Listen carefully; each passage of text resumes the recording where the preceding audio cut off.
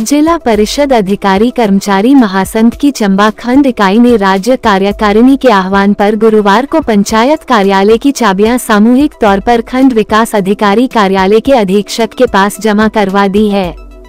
इकाई के अध्यक्ष खेप सिंह ने बताया कि विभाग की ओर से नोटिस जारी किए गए थे।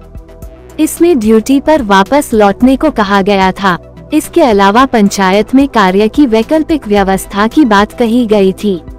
उन्होंने कहा कि इसके विरोध स्वरूप ही राज्य कार्यकारिणी के आह्वान पर पंचायत सचिवों ने कार्यालय की चाबियाँ खंड विकास अधिकारी कार्यालय में जमा करवाई है।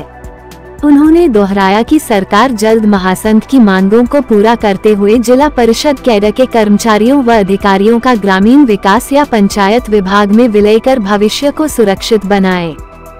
मैं ब्लॉक अध्यक्ष श्री खेप सिंह, विकास खंड चंबा। मैं सबसे पहले आपका स्वागत करता हूँ।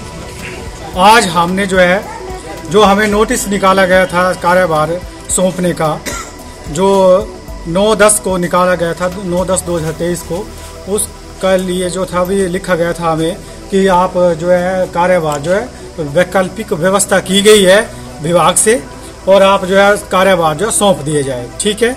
तो हमने कार्यभार तो हम दे नहीं सौंप नहीं सकते, लेकिन हमने अपने कार्यालय, पंचायत घर की चाबी जो है, सामूहिक जो है, आज खंड कार्यालय चंबा में सुप्रिटेंडेंट के पास जमा करवा दी गई है।